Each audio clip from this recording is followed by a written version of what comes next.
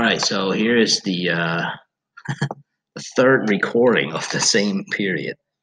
Okay, all right. So uh, tonight's homework page 11, 4 to 9. So uh, we've been doing order operations uh, this week. So let's see, what's a good one? Let's see. I think 4 is fantastic. Eight's fantastic. So we're going to do 4 and 8 together, okay? So 4. Now, looking at it right there, you got to remember what the order of operation is, right? PEMDAS. So here, it's actually a slightly tricky question. If you wrote zero as an answer, that is wrong, all right? Because you got to do the division first.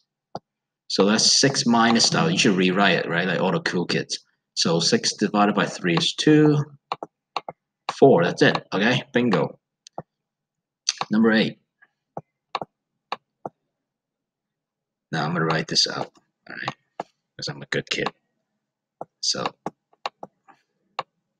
six, ay, ay, ay, six times eight.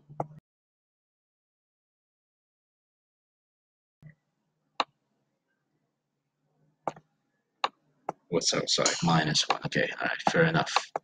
So inside the parentheses first, so I'm gonna do two, keep the bracket, 6 times 8 is 48. Minus 1. 50 minus 1.